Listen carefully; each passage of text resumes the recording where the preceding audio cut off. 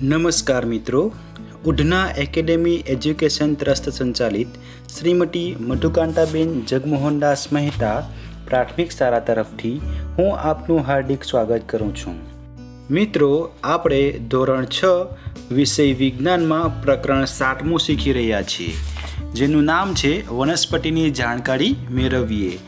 મિત્રો, આગળના વિડીયોમાં આપણે આ પ્રકરણ વિશે થોડું શીખી ગયા છે. હવે બાકીનું આ વિડીયોમાં આપણે જોવાના છીએ. તો ચાલો શરૂ કરીએ. હવે આગળ જોઈશું આપણે પ્રવૃત્તિ બે, પ્રકાંડ. મિત્રો, પ્રવૃત્તિ કરતાં પહેલાં આપણને કયા કયા સાધનો જોઈશે? તો પ્યાલો, પાણી લાલ શાહી એક છોડ અને બ્લેડ. હવે પ્યાલો એક તત્યાંશ એટલે કે ત્રીજો ભાગ ભરાય તેટલું પાણી રેડો. પાણીમાં થોડાક ટીપા, લાલ શાહી ઉમેરો. પ્રકાંડને આધાર પાસેથી બ્લેડ વડે કાપીને બાજુમાં ચિત્ર બતાવ્યું એ પ્રમાણે પ્યાલામાં મૂકો. બીજા દિવસે અવલોકન કરો. શું છોડનો કોઈ પણ ભાગ લાલ રંગનો દેખાય છે? જો હા, તો તમને શું લાગે છે કે આ રંગ ત્યાં કઈ રીતે પહોંચી હશે? તમે પ્રકાંડને વચ્ચેથી કાપો. અને પ્રકાંડની અંદર પણ લાલ રંગ જુઓ. આ પ્રવૃત્તિ પરથી આપણે જોયું કે પ્રકાંડમાં પાણી ઉપર ચડે છે. બીજા શબ્દોમાં, પ્રકાંડ પાણીનું વહન કરે છે. લાલ શાહીની જેમ જ પાણીમાં ઓગળેલા ખનિજ તત્વો પણ પ્રકાંડમાં પાણીની સાથે ઉપર ચડે છે. મિત્રો, આ તમે બાજુની આકૃતિમાં જોઈ શકો છો. પ્રકાંડમાં રહેલી સાંકડી નલિકાઓ દ્વારા પાણી અને ખનિજ તત્વો વનસ્પતિની શાખાઓ સાથે જોડાયેલા પર્ણો અને અન્ય ભાગ તરફ જાય છે. પહેલીએ આ પ્રવૃત્તિ સફેદ પુષ્પ ધરાવતા છોડ સાથે કરી. તેણે સફેદ પુષ્પ ધરાવતી એક ડાળીને પ્યાલામાં, પ્યાલા એમાં મૂકી અને તેમાં લાલ શાહીના થોડા ટીપા ઉમેર્યા. બીજી ડાળીમાં તેણે થોડી ગમ્મત કરી. તેને તેના અડધે સુધી બે ઊભા ચીરા કર્યા અને તેને આકૃતિમાં બતાવ્યા પ્રમાણે બી અને સીના પાણીમાં રહે તેમ મૂકી. તેણે પ્યાલા બીમાં લાલ શાહીના થોડા ટીપા અને સીમાં વાદળી શાહીના થોડા ટીપા ઉમેર્યા. એ ઈચ્છે છે કે તમે તર્ક લગાવો કે પ્યાલા એના પુષ્પ સાથે તથા પ્યાલા બી અને સીમાં સાથે મૂકેલા પુષ્પમાં શું તફાવત હશે? જ્યારે તમે પ્રવૃત્તિ બેમાં પ્રકાંડને આડું કાપ્યું હતું, ત્યારે તમે નોંધ્યું હતું કે પ્રકાંડની અંદરના વલયમાં લાલ રંગના કેટલાક બધા ટપકા હતા. શું આ બાબત પહેલીને મળેલા પરિણામોને સમજાવી શકશે? આ પ્રવૃત્તિ જાતે કરો. મિત્રો, હવે જોઈએ પર્ણ. તમારી આજુબાજુની વનસ્પતિના પર્ણ જુઓ અને તેનું ચિત્ર નોંધ પુઠ્ઠીમાં દોરો. શું બધા જ પર્ણ કદ, આકાર અને રંગમાં સમાન છે? તો મિત્રો, બધા જ પર્ણો કદ આકાર અને રંગમાં સમાન હોતા નથી. એમાં વિવિધતાઓ રહેલી છે. તેઓ પ્રકાંડ સાથે કઈ રીતે જોડાયેલા છે? પર્ણના જે ભાગથી તે પ્રકાંડ સાથે જોડાયેલું હોય છે, તેને પર્ણદંડ કહે છે. પર્ણના પહોળા લીલા ભાગને પર્ણપત્ર કહે છે. શું તમારી આજુબાજુની વનસ્પતિમાં તમે પર્ણના આ ભાગને ઓળખી શકો છો? શું બધા જ પર્ણને પર્ણદંડ હોય છે? તો ચાલો પણ એની છાપ લઈને તેને વધુ સારી રીતે સમજીએ. જો તમે એવું વિચારતા હો કે પણ સહી સહી કરી શકતા નથી, તો હવેની પ્રવૃત્તિ તમને ફરીવાર વિચારતા કરી દેશે. આગળ જોઈએ પ્રવૃત્તિ ત્રણ. કોઈ પણને સફેદ કાગળ કે તમારી નોંધપુઠીના પાના નીચે મૂકો. બાજુના ચિત્રમાં દર્શાવ્યા પ્રમાણે તેને પકડી રાખો.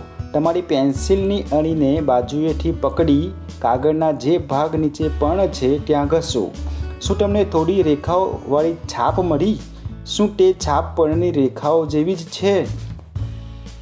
મિત્રો પર્ણની ઉપર રહેલી આ રેખાઓને શીરા કહે છે. શું તમને પર્ણની મધ્યમાં કોઈ જાડી શીરા દેખાય છે? તેને મધ્ય શીરા કહેવાય છે.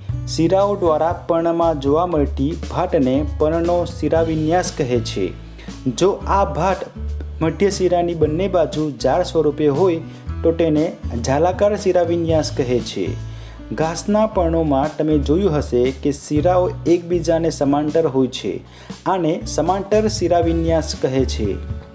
બની શકે તેટલા વધુ પર્ણોને વનસ્પતિથી હટાવ્યા સિવાય તેના શિરાવિન્યાસનું અવલોકન કરો. તેની તળેને દોડીને ઝાલાકાર અને સમાંતર શિલાવિન્યાસ ધરાવતી વનસ્પતિઓના નામ લખો. હવે આપણે પણના થોડા કાર્યો શોધીએ અને તેના માટે પ્રવૃત્તિ ચાર કરીએ. આમાં આપણને એક છોડ, બે પારદર્શક કોથળી અને થોડી દોરીની જરૂર પડશે. આ પ્રવૃત્તિ સૂર્યપ્રકાશવાળા દિવસોમાં દિવસ દરમિયાન કરવી. આ પ્રવૃત્તિ માટે તંદુરસ્ત હોય અને સૂર્યપ્રકાશમાં ઉગ્યો હોય તેવા છોડનો ઉપયોગ કરો. પર્ણયુક્ત એક ડાળીને ચિત્રમાં દર્શાવ્યા મુજબ પોલિથીન કોથળી વડે ઢાંકીને તેનું મુખ બંધ કરો. બીજી ખાલી પોલિથીન કોથળીનું મોઢું બંધ કરીને તેને પણ સૂર્યપ્રકાશમાં રાખો. થોડા કલાક પછી કોથળીની અંદરની સપાટી જુઓ. તમને શું દેખાયું? શું કોઈ કોથળીના પાણીના ઘણા ટીપા દેખાય છે? કઈ કોથળીમાં ટીપાઓ છે? તમને શું લાગે છે કે તે ત્યાં કઈ રીતે આવ્યા હશે? મિત્રો, આ પ્રવૃત્તિ થઈ ગયા પછી તમે કોથળી હટાવવાનું ભૂલશો નહીં. મિત્રો, બાષ્પોત્સર્જન નામે ઓળખાતી ક્રિયા દ્વારા પાણી બાષ્પ સ્વરૂપે પનોની બહાર આવે છે. આ પ્રક્રિયા દ્વારા વનસ્પતિ હવાના, હવામાં પુષ્કળ પાણીનો ત્યાગ કરે છે.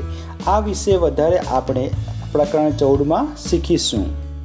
શા માટે આપણે પર્ણોની આજુબાજુ ઠેલી બાંધી હતી? શું આપણે બીજી કોઈ રીતે વનસ્પતિનું બાષ્પોત્સર્જન જોઈ શક્યા હોત? પ્રકરણ પાંચમાં આપણે આપણી કેટલીક પ્રવૃત્તિઓમાં પાણીને તેના જુદા જુદા સ્વરૂપમાં ફેરવાતા જોયું. શું તેના વિશે વિચારીને કોથળીમાં પાણીના ટીપા દેખાવાની પ્રક્રિયાનું નામ આપી શકશો? મિત્રો, પર્ણનું અન્ય પણ કાર્ય છે. ચાલો એ શીખીએ. પ્રવૃત્તિ પાંચ. આ પ્રવૃત્તિ માટે આપણને પર્ણ સ્પિરિટ, એક બીકર, ટેસ્ટ ટ્યુબ બર્નર, પાણી, એક પ્લેટ અને આયોડિનના દ્રાવણની જરૂર પડશે. પર્ણને ટેસ્ટ ટ્યુબમાં મૂકી તેમાં પર્ણ ધંકાઈ જાય ત્યાં સુધી સ્પિરિટ ઉમેરો. હવે ટેસ્ટ ટ્યુબને પાણીથી અડધું ભરેલું હોય તેવા બીકરમાં મૂકવું. પર્ણનો બધો લીલો રંગ નીકળીને ટેસ્ટ ટ્યુબમાં ન આવી જાય ત્યાં સુધી બીકરને ગરમ કરો. પર્ણને કાળજીપૂર્વક બહાર કાઢો અને તેને પાણી વડે ધુઓ. તેને પ્લેટ પર મૂકો અને તેના પર આયોડિનનું દ્રાવણ ઉમેરો. મિત્રો, ખાસ સૂચના છે કે આ પ્રવૃત્તિમાં સ્પિરિટનો ઉપયોગ તથા ગરમ કરવાની બાબતો સંકળાયેલી હોવાથી આ પ્રવૃત્તિને વર્ગખંડમાં શિક્ષક નિદર્શન કરે તે સલાહભર્યું છે. તમે શું જોયું? તમારા અવલોકનોને પ્રકરણ બેના અવલોકનો કે જેમાં જ્યારે ખોરાકમાં રહેલા પોષક દ્રવ્યોની ચકાસણી કરી હતી, તેની સાથે તુલના કરો. શું આનો મતલબ એ થયો કે પર્ણમાં સ્ટાચ હોય છે? પ્રકરણ બેમાં આપણે જોયું કે બટાકાના પટિકામાં પણ સ્ટાર્ચની હાજરી હોય છે. વનસ્પતિના અન્ય ભાગોમાંથી સ્ટાર્ચ મેળવીને બટાકા તેનો સંગ્રહ કરે છે. જો કે, પર્ણ પોતાનો ખોરાક સૂર્યપ્રકાશની હાજરીમાં તેમાં રહેલા લીલા રંગના દ્રવ્યને લીધે કરે છે. આ માટે તેઓ પાણી તથા હવામાં રહેલા કાર્બન ડાયોક્સાઇડનો ઉપયોગ કરે છે. આ પ્રક્રિયાને પ્રકાશ સંશ્લેષણ કહે છે. આ પદ્ધતિમાં ઓક્સિજન ઉત્સર્જિત થાય છે પર્ણ દ્વારા તૈયાર થતો ખોરાક અંતે વનસ્પતિના વિવિધ ભાગોમાં સંગ્રહ થાય છે. પર્ણ એ સ્ટાચનું ઉત્પાદન કર્યું છે. તે વનસ્પતિના અન્ય ભાગો કે ક્યાંથી મેળવ્યો નથી, તે આપણે કઈ રીતે જાણી શકીએ? આ જાણવા ઉપરની પ્રવૃત્તિઓને થોડાક ફેરફાર સાથે ફરી કરીએ. કુંડામાં રહેલા છોડને એક બે દિવસ અંધારા રૂમમાં રાખો. હવે વનસ્પતિના પર્ણનો એક ભાગ સંપૂર્ણ કાળા કાગળથી ઢાંકી દો અને છોડને એક દિવસ સૂર્યપ્રકાશમાં રાખો. કાળા કાગળ વડે ઢાંકેલા પર્ણને દૂર કરી અને સ્ટાચની કસોટી ફરીથી કરો. તમે શું જોયું? પર્ણના કયા ભાગમાં સ્ટાચની હાજરી દેખાય છે? પર્ણો સૂર્યપ્રકાશની હાજરીમાં જ સ્ટાચ બનાવે છે. તે આ બાબતથી સમજાયું. મિત્રો, આપણે જોયું કે પર્ણની પાણીનો પુરવઠો એ પ્રકાંડ પૂરો પાડે છે. ખોરાક બનાવવા માટે પર્ણ તેનો ઉપયોગ કરે છે. બાષ્પોત્સર્જન દ્વારા પર્ણો પાણી ગુમાવે પણ છે. પ્રકાંડ અને પર્ણને પાણી કઈ રીતે મળે છે?